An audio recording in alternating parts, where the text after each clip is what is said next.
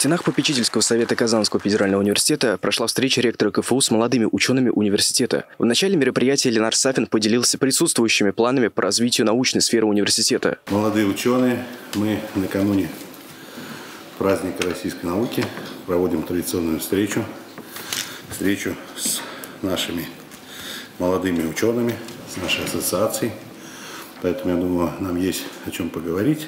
В ходе встречи ректор КФУ искренне поблагодарил представителей Ассоциации молодых ученых за помощь в организации мероприятий и за плодотворную работу в стенах Альма-Матер. Ведь, как известно, именно наука является основной движущей силой прогресса и развития сферы образования. От достижений ученых напрямую зависит не только экономический рост и создание новых высокопроизводительных рабочих мест, но и качество жизни миллионов и миллионов людей. Традиционно наши молодые ученые побеждают в, в, в конкурсе на премию Завойского имени Арбузова по химии, по физике, то есть первые места за нашим университетом победители здесь, и Руслан Батулин, и Павел Подня, и еще э, призеры тоже этого конкурса.